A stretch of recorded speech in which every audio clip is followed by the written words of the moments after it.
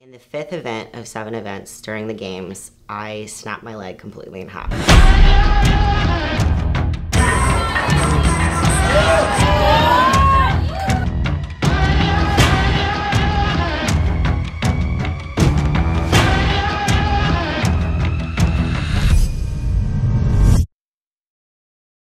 Hi, I'm Nancy, Marine Corps veteran. I am a college student right now studying physical education and social work, and I'm a professional strongman.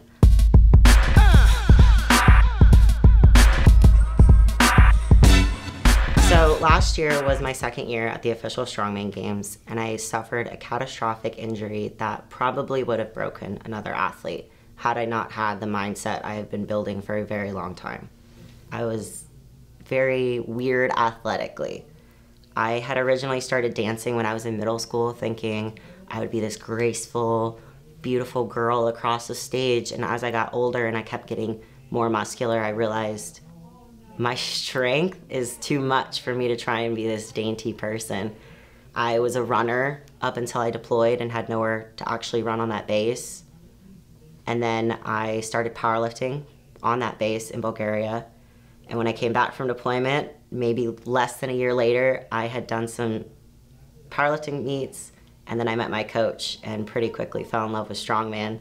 I met my current coach when I was still active duty in the Marine Corps and he invited me out to try some strongman events one weekend while I was still powerlifting. I thought I wouldn't love it and I fell in love almost instantly.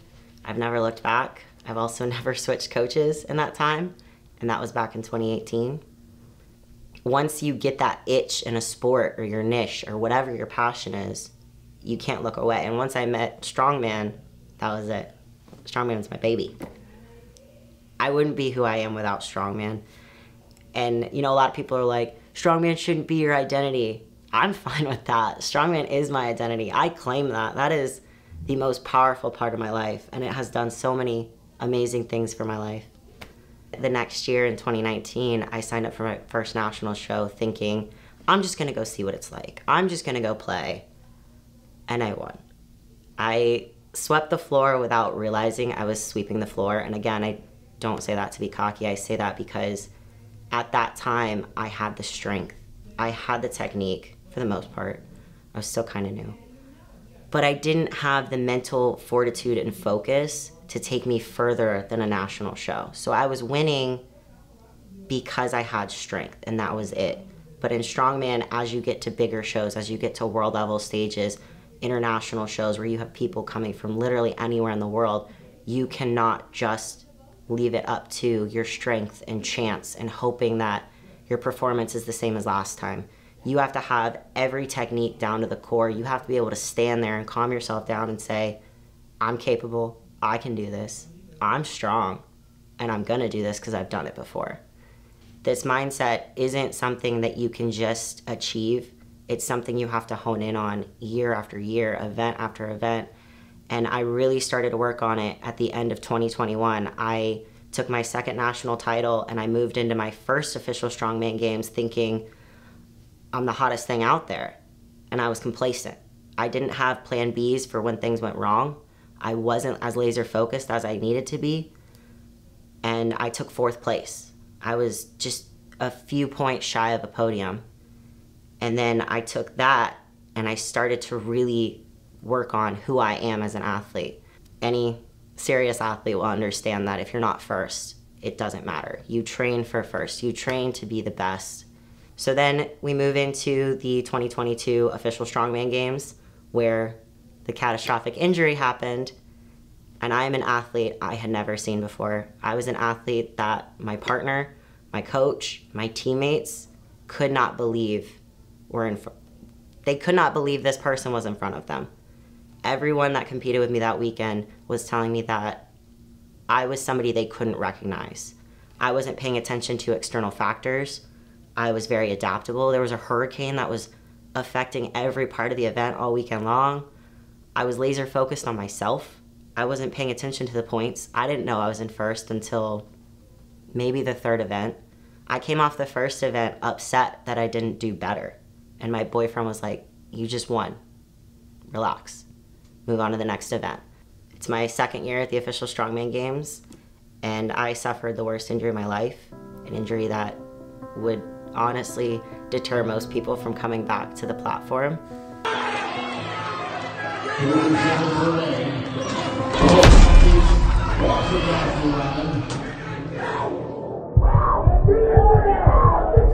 I was in the fifth event of seven events, carrying a yoke that was fashioned out of an old Volkswagen Bug across the competition floor when I stepped out too far. And the rock of the car, plus the 620 pounds of it, shot through my right leg and snapped my tibia and fibula faster than I could even understand what happened. And when I say that, it's because I didn't know what happened. I went into shock so quickly that I fell to the ground. I screamed, still not understanding what happened. I never felt it. I heard it. And if you've ever had your ears pierced or something puncture your body and you've heard the skin break, that is what I heard in my brain. I heard my entire, I heard both bones snap, but I did not feel it. And I'm lucky for that. I know I'm lucky that I didn't feel it, but it was one of those moments where someone doesn't have to tell you what happened for you to know it's wrong. So I'm sitting at the bottom of the car. I blacked out from standing up to sitting down. All of a sudden, there's like five or six people trying to get me out of this car, and I'm looking down at my leg and I can't see anything wrong. But I know I can't stand on it. Didn't even try. And I'm breaking down, I'm crying, and everyone thinks I'm in the worst pain of my life, and I'm not yet. I'm in the worst emotional pain of my life. I had never felt something so crushing in my entire life. And I don't say any of these things to be cocky. Please don't misunderstand me when I say these things. A true champion, a true seasoned athlete will understand when you are sitting in first place the way I was. I was in a 10 point lead. I was three feet from the finish line when I snapped my leg. I didn't finish that event and I stayed in first place. So to know that I wasn't going on to event six and seven was the most crushing thing I've ever felt in my life. Once I realized my leg was broken, they put me on the stretcher. They're about to take me out, and I'm asking, Can I stay? Can I stay? Like, I want to see my fellow 73 kilogram women go. And they're like, No, you aren't showing pain. We are so concerned about you. We need to get you to the hospital right now. They're checking me to see if I'm having a heart attack. And the whole time I'm like, I'm giggling, you know, the fentanyl, the morphine, all that stuff starting to kick in that they're giving me on site. And I'm just like, I don't understand why I can't at least see this through. If I'm not getting my world title, why can't I see this through? In that moment, I went from completely distraught, knowing I lost my world title because it was mine. I was in a 10 point lead, and I knew if I follow through, if I finish the circus dumbbell event, if I do the stone event, I will take this world title. This will be my first world title. I have put everything in my life on hold for this. This is what I came here for. And as soon as that happened, I knew it was over. So I spend the entire ambulance ride, the first three hours I'm sitting in the ER, completely unaware of pain. Still don't actually know if my leg's broken. Fell, fell for the false hope that maybe I had twisted something because a doctor said it and I latched onto it. They come and show me my x ray finally. And about three hours after that, they conscious sedate me and set my leg because they had to put it back together in order for the surgeon to do their work the next day. I wake up the, from the conscious sedation in the most pain I've ever felt in my life. I couldn't comprehend how I could go from not feeling anything but emotionally distraught to now feeling like my leg had been completely sawed off. Coming home from the hospital, it wasn't, I'm done with strongman. It wasn't, what's next for me. It was instantly, how quickly can we walk? How quickly can we be back at the games? How quickly can we do this? I remember sitting in the hospital telling my partner, okay, I probably won't compete in January. I probably won't compete in April. And he's like, you're not competing at the beginning of next year. And once I got home and my boyfriend had to go back to work, he had built this bedroom downstairs for me in our living room, taking care of me, doted on me, but he eventually had to go back to work. It was the days where I would sit in the bed by myself before I could drive, before I could walk, and just getting to the kitchen to warm something up would break me down because it hurt. It hurt to get up, it hurt to let the blood flow. And that's when the depressive thoughts would creep in. that's when the I'll never be myself, this will always hurt crept in. And it's easy to see how someone could be very deterred in that moment, very depressed, or decide to completely hang up a sport like that. Having this insanely strong mindset that I have been building since the end of 2021, going into this injury, pulled me through the injury. If I had given in to the negative thoughts and the awful things creeping in, and the doctors, just physical therapists, ortho doctors, x ray techs, nurses, every single person telling me, you'll never run again, you'll never squat again, you'll never do this, you don't need to do this. All of those things I had to throw away and say, it's fine we don't agree, but I'm coming through this. And I did come through this. And I wouldn't have come through this had I not stuck to my mindset and continuing to better my mindset. Anytime I went to the gym, when I first had my boot, when I could barely walk, when I had crutches, and I want to cry, and I'm telling myself, is this worth it? The more motivational Nancy on my shoulder is saying, yeah, because you don't want to get to the end of your life and look back and be like, you really let that pull you out of the sport you love most in the world. The, the feeling I have knowing that I have physical independence again, knowing that I'm in charge of my life, I can take care of myself in not only athletic situations, but emergency situations. Because I've grown stronger from this injury is more powerful than I can explain to anyone. If you've had an injury and you come back from it, you know what it's like.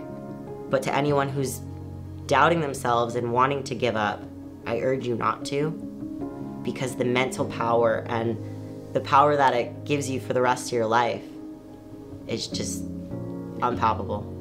I would say to be in the top 1% of your niche, whether it be a sport or a skill, you quite literally need to be willing to die for it. And when I say that, you have to be willing to give it your all. You have to be willing to give up the social things that don't serve you the drinking, the partying, the staying up late. You have to be willing to commit to just simple hydration, simple nutrition, meeting your gym expectations. If you miss one session once every single week, that's 52 sessions in a year.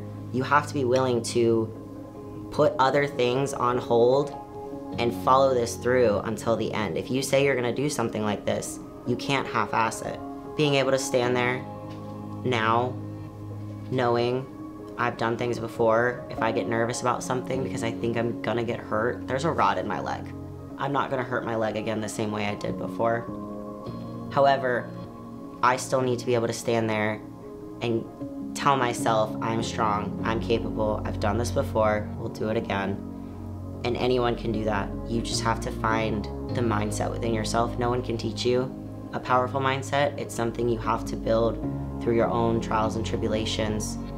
And if I choose to compete this year at OSG, my mindset better be on point or I will mentally crumble before I physically crumble. Maybe when the negativity creeps in, you need to find a resource that tells you about someone who's experienced something similar. And while you can't compare yourself exactly to them, you can look at some of the tools they might use. Because all of these things, the self talk, the practice how you compete, the laser focus, all of those things are tools that you have to learn how to achieve on your own anyway. So, regardless of a community or not, you're the only one on the platform. You're the only one out there competing. I can't hear a single person when I'm out there doing an event aside from two people, and that's my partner and my coach. And that's because I've learned to only hone into those voices. But it's just you out there. At the end of the day, you have to be confident in yourself. You have to be able to carry yourself because it's just you. So screw the negativity. Why are you doing it? Why are you here? I would also say find find a community. A community that drives you because even on the days when motivation is fleeting or you feel like your drive is lost or your focus is lost, having a small community or a big community or people you can rely on to hold you accountable and to bring you back up, that's very powerful. I've met my closest friends um, my partner. I've I wouldn't be who I am without strongman. Yes, I had an insanely awful injury at the end of last year, but I'm still qualified for the official strongman games at the end of 2023. I have the chance to go back and take my world title just like anyone else who might be watching this video, you will always have some kind of chance to go back and reclaim what you might have lost, whether it be to just poor training, not enough strength, maybe you messed up your technique or you had an accident like I did, or it's just out of your control. I believe that if you work hard enough, coming back is even better. It's a more powerful story and it's a more powerful meaning to you because winning doesn't really mean anything if you didn't have to fight like hell to get get there. I'm somebody that's gonna come back from this injury better. I'm not looking to be my old self. I'm looking to come back as a new Nancy. Robot leg and all, don't care. I'm here for it. Are you gonna compete? I'm not sure yet. You'll have to you'll have to follow me to see. Follow my journey to see.